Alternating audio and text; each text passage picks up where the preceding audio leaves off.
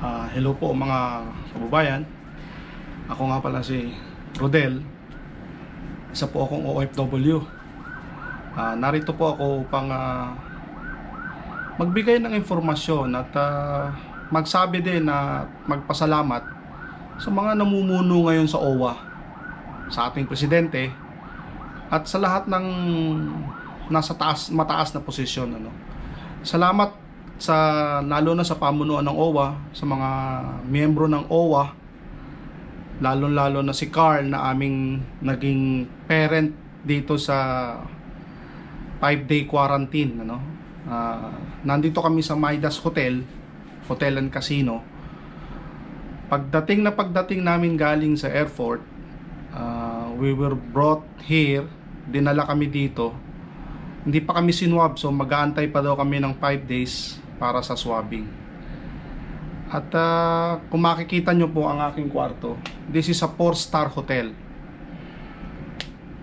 Kami po ay mag-asawang dumating dito sa, sa, Pilipinas galing sa Saudi dahil sa bagong protocol ah, pinaghiwalay kami nandun ang asawa ko sa kabilang ah, room at ako nandito para daw sa bagong rules at protocol baka daw magkaroon ng hawaan Ah, mabalik tayo no? Ah, ako po ay nagpapasalamat sa OWA dahil lahat po ito ang pagkain namin mula umaga tanghalian at hapunan ay libre.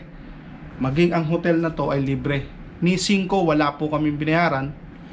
Kahit dun sa bus na aming sinakyan hindi kami nagbayad.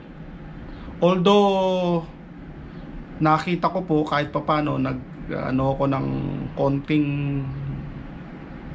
halaga para dun sa driver at sa konduktor. Dahil nakita ko po na hindi po kami nagbuhat ng aming bag pasakay dun sa bus ng aming mga bagahe. Yung bagahe po namin ay apat na bagaheng malalaki. Mahigit 20 kilo ang isa. Actually 23, 22 apat na bagahe. Tapos meron pa kami mga hand carry. So lahat po yon sila ang nagkarga hanggang sa makarating kami dito sa hotel sila rin ang nagdiskarga. So makikita mo talaga silang pawisan. Kaya po sa mga kapwa ko OFW na uuwi at makakaranas ng ganitong sitwasyon, kung meron po kayong sobra, nasa sa inyo po yon kung kayo po ay magbibigay ng kahit na counting halaga, mabigyan yung mga nagbubuhat, yung driver at saka yung kanyang konduktor. Kasi po, although meron silang sweldo or binabayaran sila ng OWA, it's really how you appreciate kung paano mo makita magpasalamat do sa ginagawa ng mga taong yon ano po. Maging dito sa hotel, nagpapasalamat din ako dahil yung serbisyo nila maayos. Kita nyo naman malinis ang kwarto. Ah, at saka nagpapasalamat ako sa ating presidente dahil uh, pero mo nung una alam natin nung una nung mga unang umuwi na OFW nakaranas ng hindi magandang karanasan dahil na stuck sila di alam ang gagawin dahil po yun ay nauna. Hindi po talaga alam o walang nakaka-expect ng ganitong sitwasyon. Pero ngayon po napaka-organized po napaka-organized. Simula pagdating namin pagbaba namin ng eroplano kasi tatlo kami tatlong eroplano yung lumapag, may dalawang eroplanong nauna sa amin. So nagintay kami sa waiting room.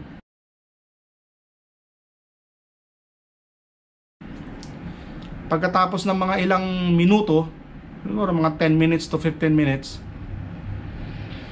uh, hinayaan na kaming bumaba at kunin ang aming bagahe.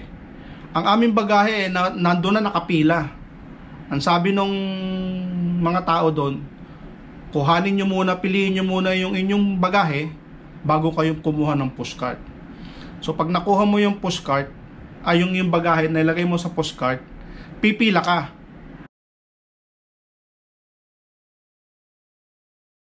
And then, pagkapila mo, aalukin ka nila ng pagkain. Napakaraming pagkain dun sa lamesa, kumuha ka kahit na ilan ang gusto mo.